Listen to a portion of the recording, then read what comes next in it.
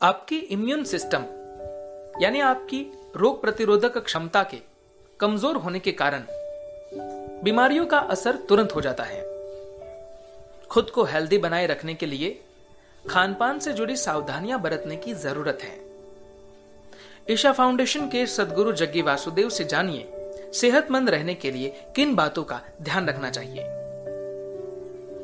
सदगुरु कहते हैं, आप जब भी भोजन करते हैं तो आपको ध्यान देना चाहिए कि आप जो खा रहे हैं, वह कितनी जल्दी पचता है और आपका एक हिस्सा बन जाता है।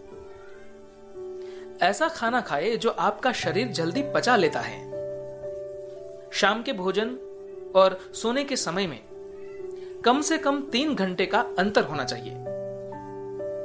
खाने के बाद आपको कुछ हद तक शारीरिक रूप से सक्रिय होना चाहिए। आप जो भी चीज़ खाते हैं अगर वह तीन घंटे से अधिक पेट में रहती है तो इसका मतलब यह है कि आपने गलत चीज़ें खाई है।